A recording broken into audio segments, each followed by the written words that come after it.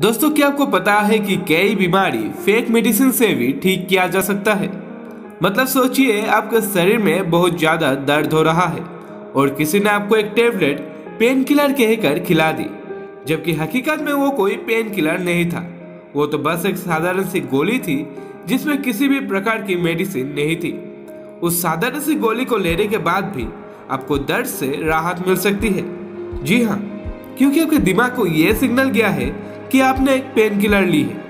और आपके दिमाग को यह पता है कि एक पेन किलर का इफ़ेक्ट क्या है। तो आज के इस वीडियो में हम ऐसे कुछ दिमाग हिला देने वाली साइकोलॉजिकल फैक्ट्स के ऊपर बात करेंगे। साइकोलॉजी साइंस का एक ऐसा सेक्टर है, जो ह्यूमन बिहेवियर और माइंड से डील करता है। वीडियो का अंत तक ज़रूर देखिएगा। बने रहे मेरे साथ, मैं हूँ शायन और आप देख रहे प्लेस क्लाउड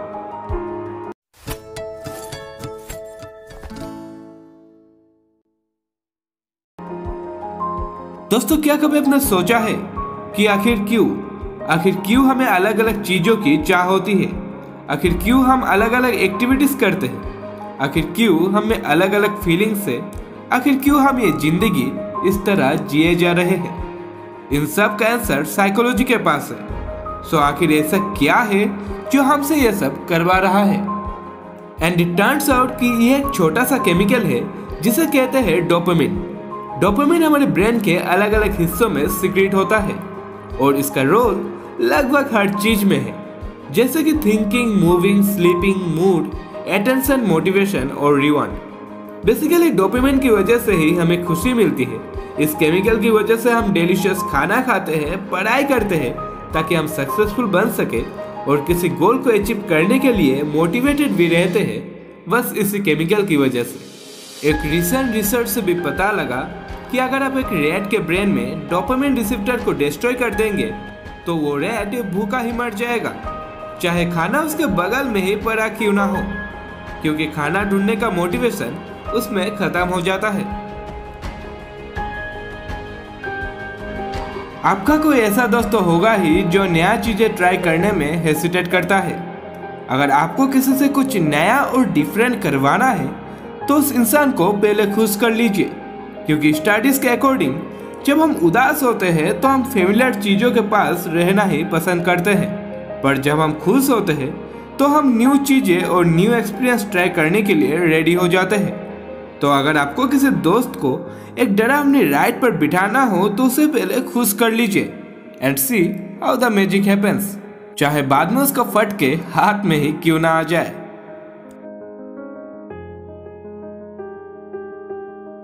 वर्ल्ड वॉर टू में नॉर्थ अफ्रीकन वार जोन में घायल सैनिकों की तादाद बढ़ती ही जा रही थी।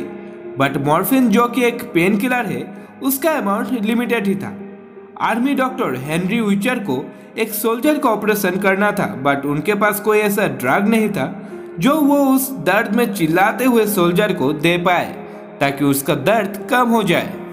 एक घबराई हुई नर्स लड़खड़ाते हुए एक सीरीज़ में सॉल्ट वाटर भरकर वो इंजेक्शन सोल्जर को लगा दिया। मिराकुलसली उस सोल्जर का पेन ना के बराबर हो गया।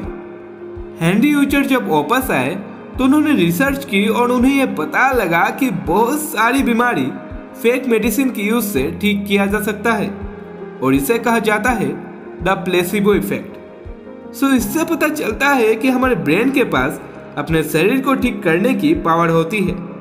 Wow amazing right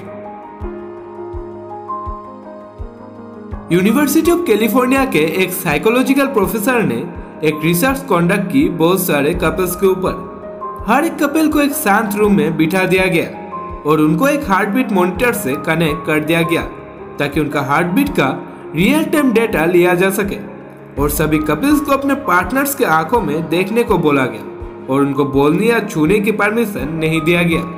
और कुछ मिनट्स के बाद ये नोटिस किया गया कि ऑलमोस्ट हर कपल का हार्ट बीट सिंक हो चुकी है। मतलब दोनों पार्टनर्स का दिल एक साथ धड़कने लगा था। प्रोफेसर ने यह बताया कि एक कपल एक दूसरे के फीलिंग को टाइम के साथ समझने लगता है। पर इस एक्सपेरिमेंट के बाद यह प्रूफ हो गया कि एक कपल का बॉन्डिंग साइकोलॉजिकल लेवल पर भी होता है। मुझे यकीन है आपके साथ ये पक्का हुआ होगा कि आप कहीं जा रहे हैं और आपको अपना फ़ोन वाइब्रेट होता हुआ महसूस होता है। जैसे कि उस पर कोई कॉल या मैसेज आया हो और फिर आप अपने पॉकेट से फ़ोन को बाहर निकालते हैं तो आपको पता लगता है कि आपके पास कोई भी कॉल या मैसेज नहीं आया है। तो फिर आपको वाइब्रेशन क्यों महसूस हुई? इसे कहते हैं द फैंटम वाइब्रेशन सिंड्रोम और मोस्ट ऑफ़ द पीपल इसे कोई बड़ा बात नहीं मानते। बट कुछ रिसर्चर्स के हिसाब से ये सिंड्रोम लगभग 90 प्रतिशत लोगों में पाए जाते हैं। So the question is why आखिर हमें ऐसा क्यों फील होता है? वेल well, इसका आंसर है लर्न बॉडीली हैबिट्स हम फ़ोन इतना यूज़ करते हैं कि ऑलमोस्ट हर समय वो हमारे पास ही रहते हैं। और टाइम के साथ हमारी बॉडी उसे अपना पार्ट समझने लगता है और इसीलिए हमारी बॉडी किसी और सेंसेशन को फ़ोन का वाइब्रेशन समझती है एंड आप अपना फ़ोन चेक करने लगते हैं। सो द नेक्स्ट टाइम ऐसा हो तो समझ लीजिए कि is the phantom vibration syndrome. तो यही थे वो कुछ साइकोलॉजिकल फैक्ट्स जो मुझे आप सभी से शेयर करनी थी। कैसी लगी आपको ये वीडियो कमेंट में हमें ज़रूर बताइए। वीडियो पसंद आया हो तो इसे लाइक कीजिए और यार प्लीज़ शेयर कर दिया कीजिए। हम बहुत मेहनत से वीडियो बनाते हैं।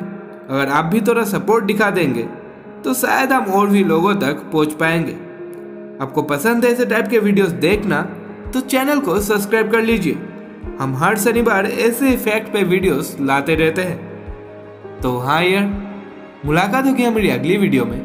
तब तक के लिए गुड बाय